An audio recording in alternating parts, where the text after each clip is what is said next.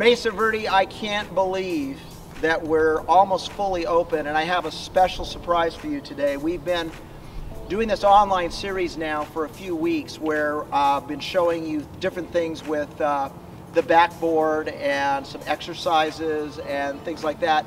So basically it's just been me and you and I'm um, just doing it by myself, but I have a big surprise and uh, you guys might know who it is that I'm going to introduce right now. Andy, get in here, get in here, buddy. Social distance, social distance. Andy Stewart is back. Hi, Mesa Verde. It's great to be back. And we've got uh, a great surprise for you today. We're going to be doing uh, a little uh, touch, uh, soft touch finesse kind of rally uh, drill for you guys today.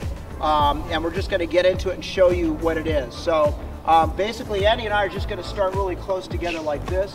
And as you've seen in the backboard drill, you saw us doing this on the backboard. Well, now Andy and I are just doing it live. And what we're doing is we're just keeping our rackets very soft in our hands.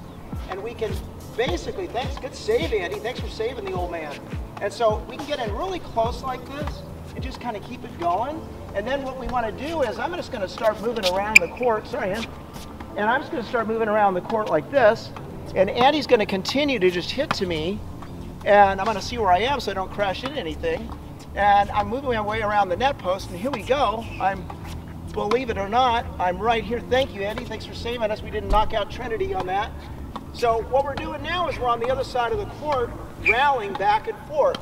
Now what you can see us doing, there's a half volley, there's a volley, there's a half volley, volley, there it is. Look at that backhands and forwards. And now we're going to go at an angle. So Andy and I are going to go this way. And so what we're doing is we're just keeping the ball going as an angle. So this is just touch. We're not trying to get crazy with a lot of power. And you notice that this is something that you want to do when you're playing doubles. You want to always hit the ball at a little angle when you get low balls like this. Sorry, Ann, thank you. So now we're going to go around the other way. There we go. And now we're Yep, now we're going the other way. Now we're going to backhands this way, backhand to backhand. Sorry, Andy. Choke. That's a choke, guys. Don't ever do it. And so as you can see, ooh, I like, like that shot. Well, that was great. That's awesome. Good. And then we kind of move in a little bit. There we go. Then Andy's going to catch the ball in his racket right here. Oh, yeah. All right, so you guys, that's something you can practice right now. I know it's social distancing, okay? But it's so great to have Andy Stewart back. And uh, he's gonna be doing the video in next week's video, so look forward to that too, okay guys? It's so fun. It's so fun to have our team back together. Hope that helps you guys.